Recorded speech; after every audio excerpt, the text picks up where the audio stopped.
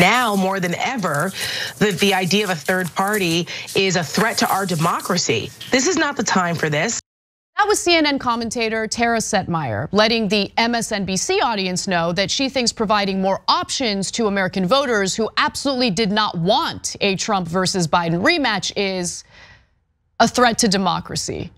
Of course, what she really means is that the race between Biden and Trump is gonna be a close one at best, even though it shouldn't be if Trump is so awful and Biden is so wonderful. But any third party candidate who serves as a spoiler and ends up helping Donald Trump win is a threat to democracy because she believes that Trump is a threat to democracy. Now, here's more from her argument. Donald Trump is a threat to our democratic system. He says he wants to be a dictator on day one.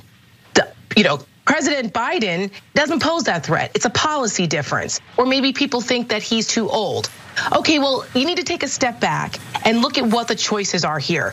Third parties do not work, they're spoilers. So if you want Donald Trump to win the election, then go ahead, throw your vote away and vote third party. Um, if you don't and you want to maintain our democracy and work within our system to reform it, maybe down the line, there can be an opportunity to have ballot access or a third party or whatever, that's fine. But right now, the threat to our democracy is too great to be messing around with third party um, candidacies. It's the same argument every election cycle. And by the way, couldn't one argue that a politically vulnerable 81 year old Biden absolutely insisting on running for reelection is the real threat to democracy? Because no one wanted this, no one asked for it. Biden could have done the right thing and kept his promise of not seeking a second term. But not only did he lie about that, he's delusional enough to tell his own donors about how he's the only one who can beat Donald Trump. Laughable.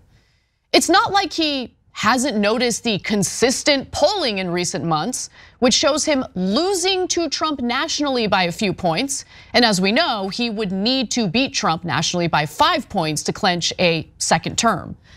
And then there are the polls that specifically look at how Biden performs against Trump in swing states. You know, those critical swing states?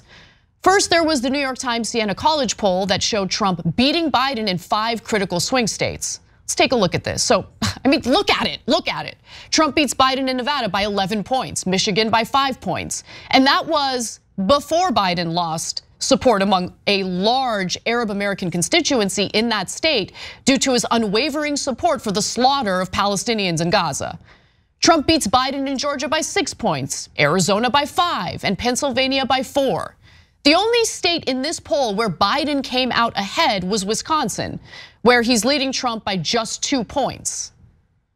When that poll came out months ago in November, everyone kept you know, brushing it off as a weird and meritless anomaly. But similar results have been repeated in other more recent polls, like the Bloomberg News Morning Consult poll from late January, which finds Biden trailing Trump in polls in each of these seven swing states, and he trails Trump 48% to 42% cumulatively across all of the swing states in a hypothetical head to head matchup.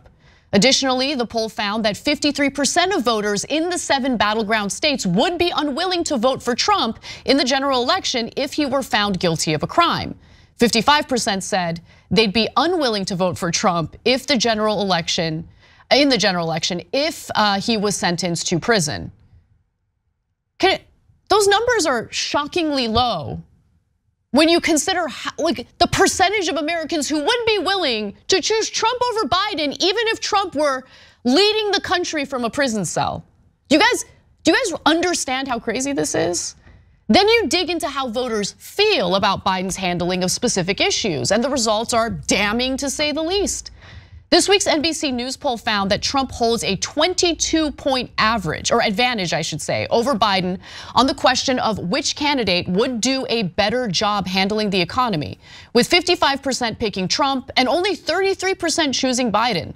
The poll also shows Trump holding a 16 point advantage over Biden on being competent and effective, a reversal from 2020 when Biden was ahead of Trump on this quality by nine points before defeating him in that election.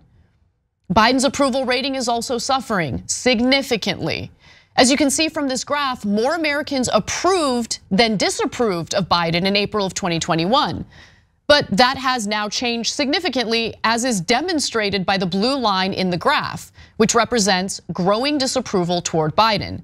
Biden's approval rating has declined to the lowest level of his presidency in NBC News polling to 37%, while fewer than three in 10 voters approve of his handling of the Israel Hamas war.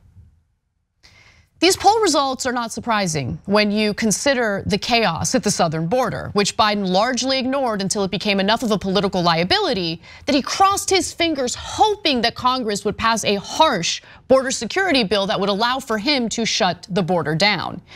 He had no issue backing off of his own agenda, allowing the child tax credit to expire without much of a fight to extend it or make it permanent. He's alienated young voters who want to use resources to improve the lives of Americans rather than send 2,000 pound bombs to Israel's far right government to then drop on schools, hospitals, churches, mosques, and refugee camps in Gaza. Biden's a crappy candidate. Accept it, that's the truth. Both politically and optically, he's a crappy candidate.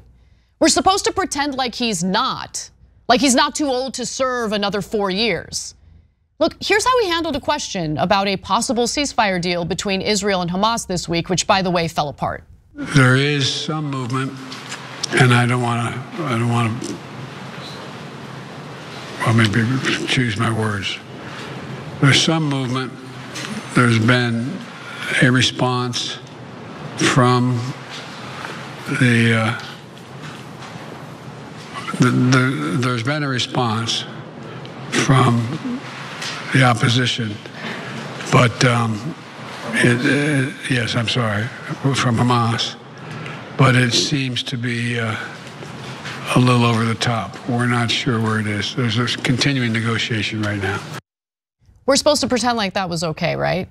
We might have millions of people watching this show, but you can be the difference maker because we just need 1% of our audience to be paid members, and then this show can be around forever. So you can make that difference. Click join now. Or how he mistook France's current president, Emmanuel Macron, for its former president, who's um, you know, been dead since 1996.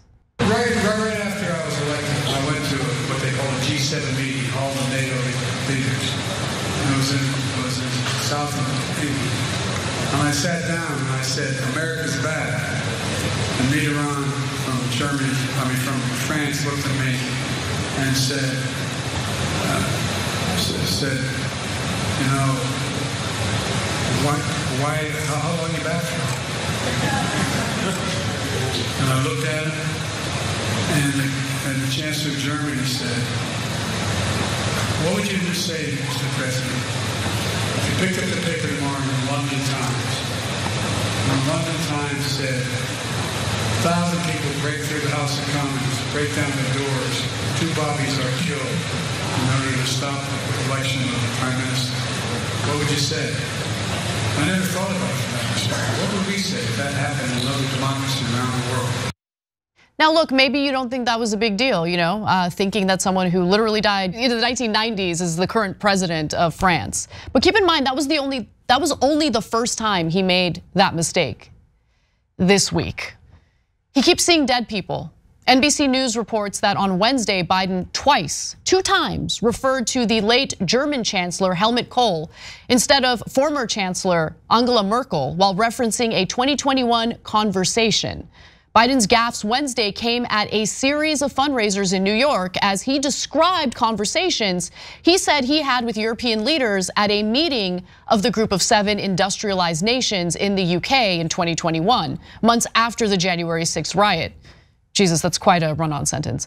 Biden said at both events that Helmut Kohl, who died in 2017, had asked him how he would respond if he read about people storming the British parliament and killing officers to stop the election of a prime minister. Now, Merkel is the one who attended the 2021 summit in the UK. And how can we forget the inaccurate story Biden shares about his son Beau's passing? He keeps saying that Beau died while deployed in Iraq. He repeatedly said this. In fact, he repeated it recently while on a phone call with the family members of one of the soldiers who was killed in a drone strike in Jordan. But his son did not die while deployed. He tragically died of brain cancer here in the United States. And look, I don't think he's intentionally lying. I just think he forgets because he's in his 80s and he's not mentally fit to be president. Today, special counsel Robert Hur announced that Biden will not be charged over his retention of classified documents. But while doing so, Hur stated that if Biden were charged, the president could present to a jury as a sympathetic, well meaning, elderly man with a poor memory. Hur's report describes Biden's memory in damning terms, at one point stating that it appeared to have significant limitations. Hur recounts a recorded 2017 conversation with Mark Zwonitzer, who helped Biden write two memoirs in unflattering terms. Biden recorded conversations with the writer from 2017 or, the recorded conversations with him from 2017 are often painfully slow, with Mr. Biden struggling to remember events and straining at times to read and relay his own notebook entries. In his interview with our office, Mr. Biden's memory was worse. He did not remember when he was vice president, forgetting on the first day of the interview when his term ended. If it was 2013, when did I stop being vice president? Biden allegedly asked. And forgetting on the second day of the interview when his term began. In 2009, am I still vice president? He did not remember, even within several years, when his son Beau died. Biden's clear cognitive decline is so bad that it's likely the reason he turned down an interview with CBS during the Super Bowl this year. He did so last year as well, but this year is an election year. A presidential candidate would be absolutely insane to pass up that opportunity at free advertising during prime broadcast hours. But if you don't buy his fear mongering or the fear mongering from other Democrats about how you need to vote for uh, Biden because Trump is a massive threat to democracy, even as he's, by the way, even as Biden's giving a green light to Netanyahu's ethnic cleansing and possible genocide of Palestinians in Gaza, you're the bad guy for not voting for him, right? You're a bad guy for considering a third party option, right? Look, I don't even like the third party candidates, I'm keeping it real. I like Cornel West, he doesn't have a shot in hell. I don't really like RFK Jr., but RFK Jr. isn't a threat to Biden. RFK Jr. is skimming votes from Donald Trump. But if voters consider a third party candidate, they're putting democracy on the line? Nah, kick rocks. And let's not forget the clear undemocratic behavior demonstrated by Democrats as they force Biden on us. In an effort to squash possible success of his primary challengers, state Democratic parties, like the one in Florida, have literally canceled their Democratic primary elections. In addition to that, the Democratic National Committee refused to host any primary debates. Do Dems think they can just suspend democracy during the primaries and everyone is just gonna be okay with it? Then we're supposed to nod along in agreement as they accuse the right of being anti-democratic and pretend like what they're doing isn't anti-democratic? And in full honesty, I'm personally getting real tired of the shame tactics, whether it be by establishment Democrats and pressuring us to support a geriatric candidate who doesn't even seem to remember where he is half the time, or leftists who want to pretend like crime ridden cities are wonderful playgrounds of justice. They're boring and delusional. This election should be a layup for the Democratic Party if Trump is the Republican nominee. But it's not. It'll be a close one. And that's no one's fault but Biden's and the Democratic establishment that defends his terrible decision to cling on to power. If you do believe that Trump is a threat to democracy, you should be really angry at those who are making it easier for Trump to win by forcing a weak Democratic candidate as our only other option. So please, for the love of God, enough with the vote shaming, enough with the calls for you know supporting Biden, squashing any third party candidate in an effort to save democracy. Saving democracy means giving Democratic voters a real choice. That choice was robbed from them by the Democratic establishment who again forced Biden onto us. So For all the people out there who like to focus on root problems, that's the root problem of this election on the Democratic side. The very person who's putting democracy on the line is the pathetically weak candidate who decided to run for reelection after he promised he wouldn't, and that's Joe Biden.